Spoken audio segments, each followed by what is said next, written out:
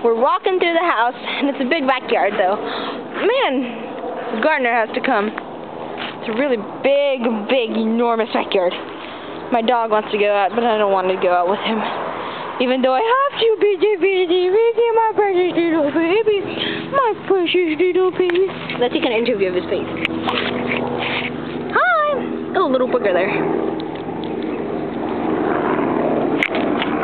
Grant, did you cut yourself again?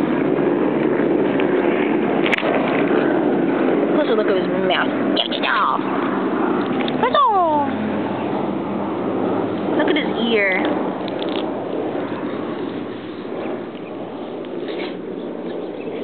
Say bye-bye, Prince.